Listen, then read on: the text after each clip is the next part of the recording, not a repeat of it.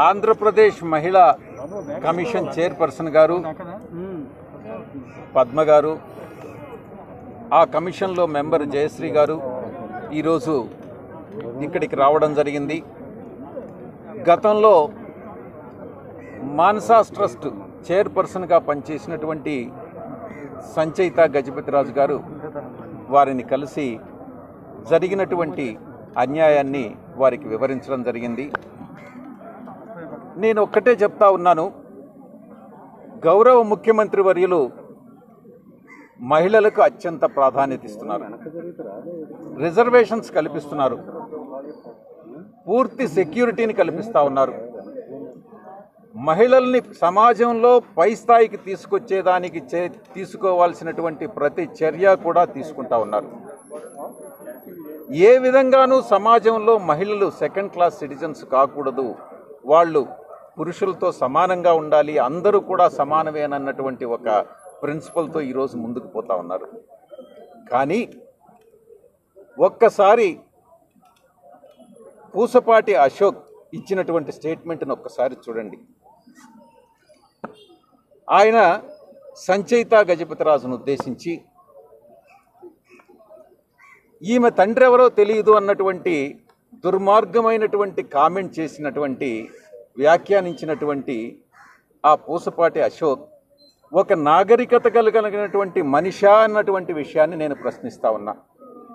నాగరిక సమాజంలో ఇటువంటి మాట ఎవరు వినరు ఎవరు అనరు. విన వినకూడదు ఈ మాటను ఎవరు కూడా అనరు. ఆమె తల్లిదండ్రులు ఎవరన్నటువంటిది చాలా స్పష్టంగా రికార్డులో చెప్పబడింది. అటువంటి వ్యక్తి ఒక నిజాన్ని ఒక ఫ్యాక్ట్ని హిస్టారికల్ ఫ్యాక్ట్ని ప్రశ్నించడం అన్నటువంటిది అశోక్ యొక్క అనాగరికమైనటువంటి అనాగరికతను వెల్లడిస్తూ ఉంది. నేను ఇంకా చెప్తా ఉన్నా అశోక్ గజపతిరాజు పూసపాటి అశోక్కి నిజంగా మహిళల పట్ల చిత్తశుద్ధి ఉన్నట్లయితే మహిళా వివక్షతని విడనాడమని చెప్పి చెప్పండి. నిజంగా అతను ప్రజల మనిషి ప్రజానాయకుడు ప్రజల మనసుల్ని చూరగొన్నటువంటి రాజననంటే ఎవరు? ప్రజారంజకంగా పరిపాలించేవాడే ప్రజల నాయక ప్రజానాయకుడు రాజు అవుతాడు క్షేత్రస్థాయిలో ప్రజల సమస్యల్ని ఆకలింపు చేసుకున్నటువంటి వ్యక్తి అశోక్ పూసపాటి అశోక్ కాదు. అందుకే అతను ఎప్పుడు చూసినా బయట వచ్చినా కూడా సమాజాన్ని ఆ కూలింగ్ స్పెట్స్లో నుంచి చూస్తాడు. ఎవరైనా ప్రజానాయకుడు చే చేయాల్సింది అది కాదు. నిజంగా ప్రాక్టికల్గా ఎలా ఉంది అది ఎండైనా వానైనా గాలైనా కూడా ప్రతి ఒక్కరూ కూడా ప్రజా సమస్యల్ని నిజాల్ని ఆకలింపు చేసుకొని దాన్ని ఆ సమస్యలను పరిష్కరించాలే కానీ పూసపాటి అశోక్ లాగా వ్యవహరించకూడదు ఒక అనాగరికుడిగా వ్యవహరించకూడదు అన్నటువంటి విషయాన్ని ఈ సందర్భంగా తెలియజేస్తా ఉన్నా. పూర్తి స్థాయిలో దర్యాప్తు జరుగుతూ ఉంది. పూసపాటి అశోక్ ఆధ్వర్యంలో ఆయన చైర్మన్గా ఉన్నప్పుడు ఇంచుమించు పదివేల కోట్ల రూపాయల విలువైనటువంటి భూముల్ని దేవస్థానం నుంచి దేవుడి సొమ్ము. ఈ ప్రపంచంలో దేవుడి సొమ్ము తిన్నటువంటి ఏ వ్యక్తి కూడా బాగుపడలేదు మిగల్లేదు. కానీ ఆ దేవుడు సొమ్ము తిన్నటువంటి వ్యక్తి టీడీపీ నాయకుడు పూసపాటి అశోక్. దాంట్లో ఆయన అనుచరులు. దానిలో చంద్రబాబు మనుషులు. ఏ రోజు కూడా నేను ఒక్కటే చెప్తా ఉన్నా దేవుడు సొమ్ము తిన్నటువంటి ప్రతి ఒక్కరూ అనుభవిస్తారు. తీసుకున్నటువంటి నిర్ణయాలన్నీ కూడా అవన్నీ కూడా నేను ఇంకొక విషయం కూడా చెప్తా ఉన్నాను. ప్రజల పట్ల చిత్తశుద్ధి ఉండి గతంలో పివిజి రాజు గారు ఈ యొక్క ట్రస్ట్ పెట్టలే. ఈ యొక్క ఈ యొక్క అగ్రికల్చరల్ ల్యాండ్ సీలింగ్లో ఈ భూములన్నీ ఎక్కడ పోతాయో అన్నటువంటి భయంతో ఉద్దేశంతో ఆ యాక్ట్ చట్టం వచ్చేదానికి ఒక్కరోజు ముందు ఈ యొక్క మాన్సాస్ ట్రస్ట్ని పెట్టారు. దానిలోకి భూములన్నింటినీ ట్రాన్స్ఫర్ చేశారు. అప్పట్లో ఉన్న ప్రభుత్వం నుంచి ఎగ్జంప్షన్ తీసుకున్నారు. కానీ ఈ రోజు వరకు కూడా వైఎస్ఆర్ కాంగ్రెస్ పార్టీ అధికారంలోకి వచ్చేంత వరకు కూడా దాన్ని బయట వ్యక్తులు ఎవ్వరూ కూడా దానికి అధ్యక్షత వహించాల. లోపల ఏం వ్యవహారాలు జరుగుతున్నాయి అన్నటువంటిది ఎవరికీ తెలియదు అంతా చాలా గోప్యంగా చేశారు. కానీ ఈరోజు ఒక్కొక్కటి ఒక్కొక్కటి బయట వస్తూ ఉన్నాయి. తప్పకుండా ఎవరైతే చట్టాన్ని వ్యతిరేకించి చట్టానికి వ్యతిరేకంగా వ్యవహరించారో వాళ్ళందరికీ కూడా శిక్ష పడుతుందని నేను ఈ సందర్భంగా తెలియజేసుకుంటా ఉన్నా. ఆడిట్ లేదు. ఎక్కడ వచ్చినటువంటి రెవెన్యూస్కి అకౌంట్ లేదు.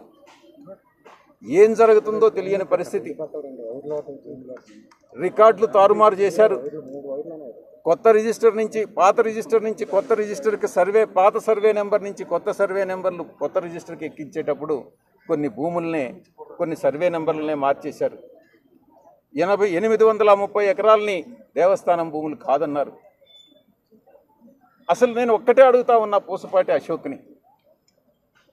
అశోక్ మీరు ఒక్క విషయాన్ని సమాధానం చెప్పండి.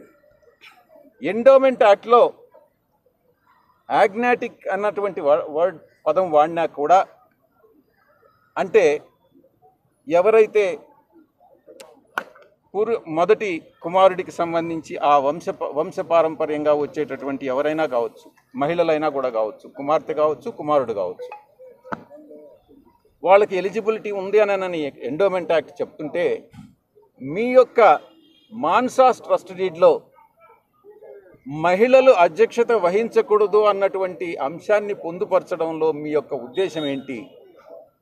అంటే మీకు చట్టం మీద మీకు చట్టం మీద విలువ లేదా? మీకు రాజ్యాంగం పట్ల మీకు గౌరవం లేదా?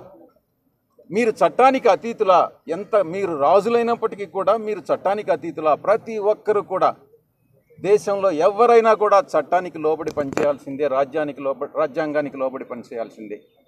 అశోక్ కాదు కదా ఇంకొకరైనా కూడా ఈరోజు చక్రవర్తులు సామ్రాజ్యాలు సామ్రాధీశులు అందరూ కూడా వెళ్ళిపోయినారు.